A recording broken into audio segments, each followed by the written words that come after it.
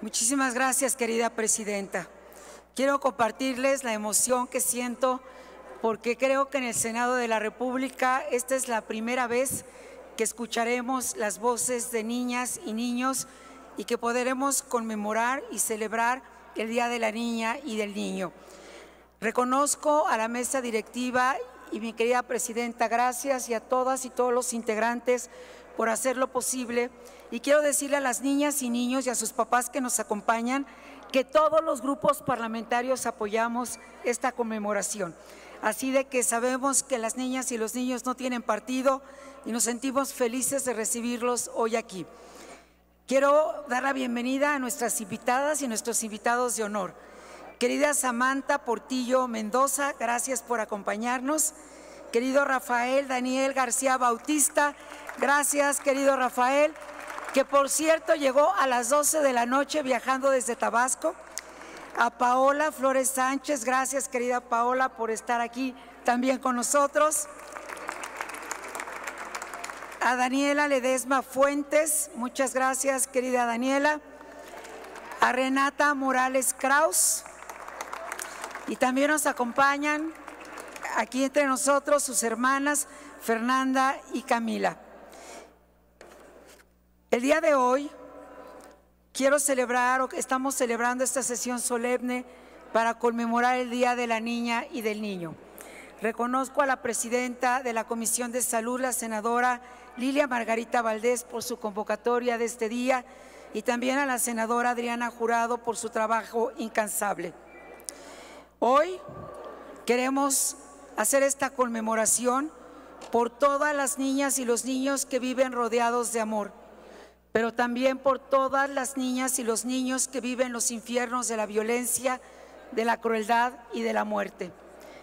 Hoy estamos aquí por todas las niñas y los niños que viven con salud, pero también estamos aquí por todas las niñas y los niños que luchan diariamente con una enfermedad para recuperar su salud y ganar un día de vida.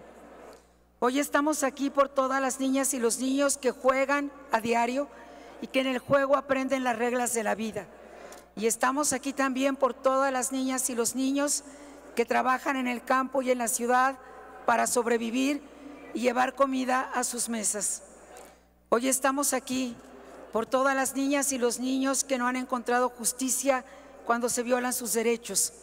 Estamos aquí por las niñas y los niños que nacen en las cárceles y viven en prisión con sus madres. Estamos aquí por las niñas y los niños que viven en soledad y también aquellos y aquellas que tienen la bendición de vivir con alegría. Estamos aquí por todas las niñas y los niños que son cooptados por el crimen organizado y que dejan de ser niñas y niños para volverse sicarios y halcones.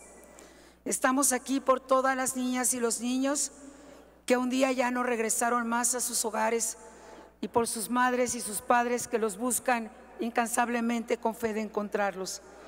Hoy estamos aquí por todas las niñas y los niños que son parte de nosotros, aunque no estén en este pleno del Senado de la República y que en su gran mayoría no los hemos escuchado. Sabemos que aún falta mucho por hacer, eso les quiero decir a las niñas y a los niños que nos acompañan, y que tenemos compromiso aquí, las senadoras y los senadores, de seguir trabajando por sus derechos y por su interés superior. Termino, Presidenta, reiterando que estamos hablando de 30 millones de niñas y niños de 0 a 14 años de edad y cierro con esta frase o con esta invitación. No solo debemos enseñarles a las niñas y a los niños, también debemos aprender de ellos. Y hoy aquí, en unos minutos más o segundos más, estaremos escuchando sus voces para aprender de las niñas y los niños, porque las niñas y los niños sean felices en México y vivan sin miedo. Gracias a todas y todos por hacerlo posible. Gracias a todos los grupos parlamentarios, gracias a la presidenta de la mesa directiva y a todas y todos quienes en la mesa directiva hacen posible este acto inédito en el Senado de la República. Muchas gracias a todas y a todos.